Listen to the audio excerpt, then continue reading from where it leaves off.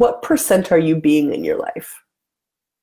So if you look at your life, what percentage are you judging? What percentage are you choosing? What percentage are you being? What percentage are you happy?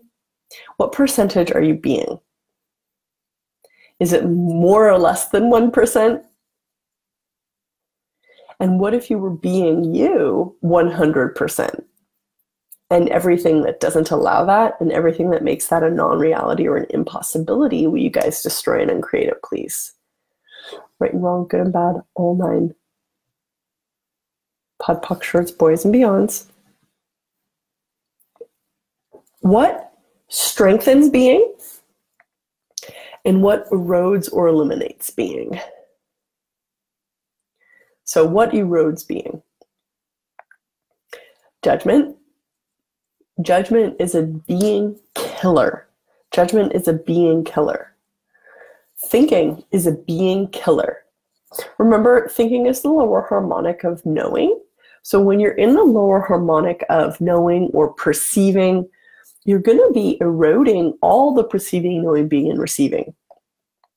So what erodes being, and you have to start to look at it's like, are you, do you honor your being with the choices that you make, with the way that you think, or are you dishonoring of your being? And are you valuing being on a whole or is being something that you ignore or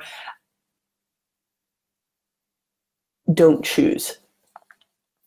Um, something else I read in one of the resources I was looking at this morning before this was uh, Gary talks about how most people have to prove that they're being. So if you're ever proving that you're being, or if you ever feel that you need to prove yourself in any way, that's an indication that you're not being in that area. If you ever feel that you need to prove yourself in any way, or you're not getting acknowledged enough, or you're not getting validated enough, or there, you, there's some sort of way that you need to prove something to someone, including yourself, that means that you're not being in that area. So that could be a rule of thumb um, for you guys to recognize. Um, what being are you refusing with the problems that you're choosing?